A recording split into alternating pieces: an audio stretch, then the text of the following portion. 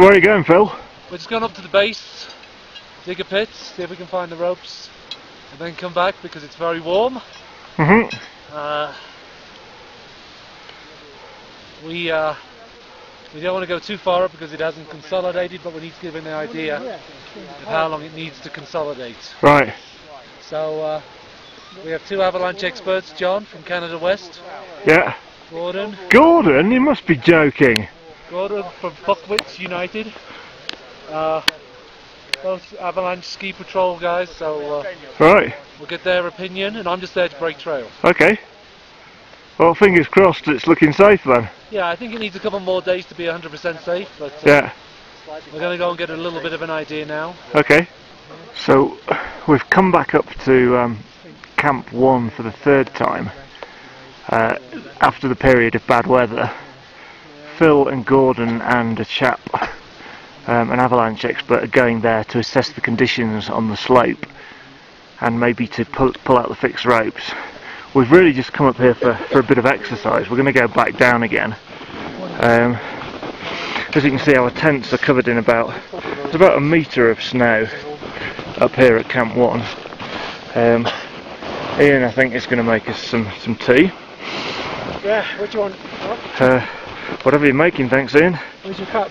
uh, we're going to get it in a sec yep so so as you see we need to dig the tents out a little bit because they're a bit snowed in and we obviously we obviously leave that job to the to the youngest person so um, so Michael here has kindly volunteered to um, dig all five tents out is that right Michael Yeah. while um. More, more likely than not, I'll uh, do mine and then uh, sack it off. Yeah. Okay. Youth of today, eh? Um, but it's actually the best weather we've had at camp. So we got, we can actually see a clear view of G1 for the first time. So yeah, it's the best view we've had of the Gasherbrum Coombe. So yeah, we're glad we came up because, like I say, it's just for a just for a, for a quick bit of exercise, really. Um, and it's looking good and we're keeping our fingers crossed that this weather holds for a few days. Give us a chance to um, head up there. So we're back at camp 1 in the Gasherbrum Coombe for the fourth time and on our summit push and unfortunately it's not looking good. It's fairly tranquil down here but David Hamilton has just come on the radio and said who's at camp 2 and said it's going to be tricky to get to camp 3 and dangerous to go beyond. And if you look that's Gasherbrum 4 if you look at the clouds on the summit. And here's G2 and as you can see there's if you look at the shoulder up there it's about a thousand meters above us and that's roughly where camp 3 is and there's some fairly fierce looking clouds sweeping across.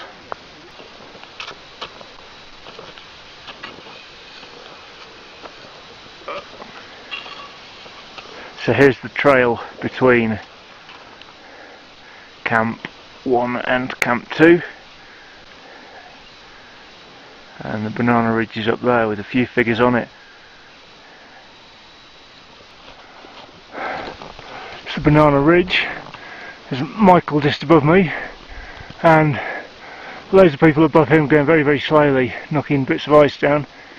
And the ridge goes up to it's about 200 metres up to the campsite. Just behind the rock face.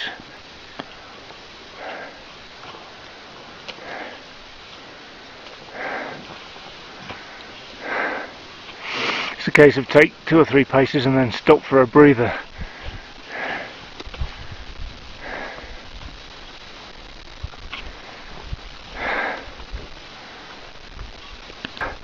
the Banana Ridge, Ian, Michael and Hi.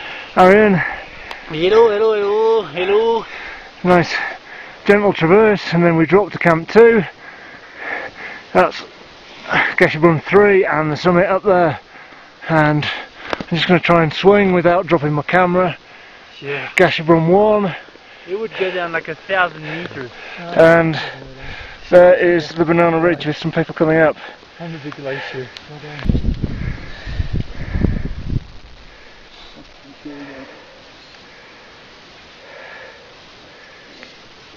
Do you have a good stand? Michael, how's it feel? Good.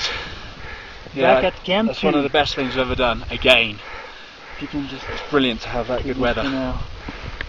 and I'm hoping that I won't um, start vomiting in uh, an hour's time. No, don't. But at the moment, I feel uh, pretty good. Excellent, excellent. Well, I hope you don't vomit as well if I'm sharing a tent with you. Yeah, absolutely. Um, So we're at Camp 2, simply sitting around waiting. We'd been hoping to go up to Camp 3 today, but there's been quite a lot of snow. Um, and the trail up there, there's, there's a couple of guys at the top trying to break the trail up there, really, really struggling.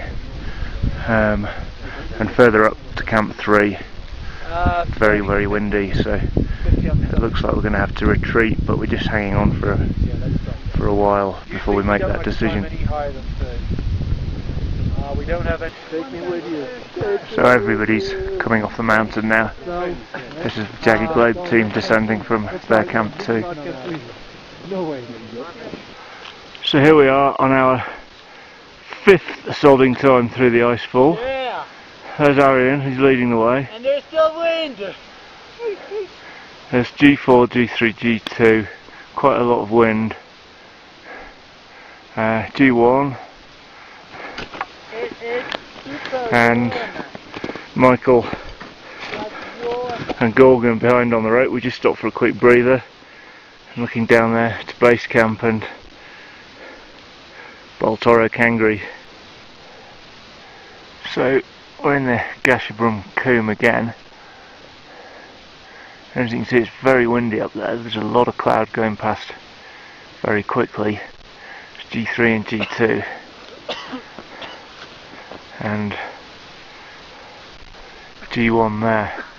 Um, for the last week or two it's been very very cloudy and very very windy but we decided to go for it anyway um, fingers crossed we'll see what happens so what the fuck are you doing Michael is the hero of the day. He just went down in the garage to pick up the trash of the Iranian that they dropped yesterday. okay and you, so you'll be carrying it down for them tomorrow will you Yes. I'm gonna carry it down. so is it deep in there Michael Sorry? was it deep in there Yeah, fair. It's like seven or eight meters down. yeah yeah, yeah, it just bottoms out. right Maybe there's a there's like a grass bridge. underneath. But Yeah. Yeah, it's alright. yeah anything else down there Absolutely nothing. Any corpse? No. No, that's up high on the mountain. Yes. So here we are back at base camp after our second summit push on Gasherbrum 2 was cut short rather pathetically at um, Camp 1. Uh, tragically a, a Spanish climber died up there after becoming stranded above Camp 4. Uh, two days of whiteout conditions prevented any sort of rescue attempt, and, and we actually retreated uh, when it became clear the slopes above Camp 2 were dangerously avalanche prone. The main achievement of the last trip was Michael and Arian fishing some rubbish out of a crevasse which had been dumped there by the Iranian team, um, and then taking it back down to base camp and giving it back to them. We're now switching our attention to this mountain here, Gasherbrum 1. Um, it's steeper and less avalanche prone, consequently, than Gasherbrum 2. But as you can see, it's still still horrible up there. Very cloudy, um, very windy. Time's running out for us now, so um, whether we get a decent a decent weather window to climb it, I, I don't know.